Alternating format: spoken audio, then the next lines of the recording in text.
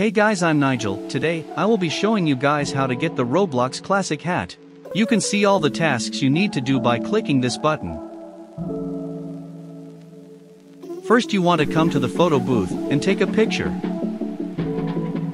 Then you would want to come to this chalkboard, and then you can apply a picture can be any picture, do one or two. Then you want to go to this big building on the other side, once you enter, just step on this, and then it should have all the tasks completed.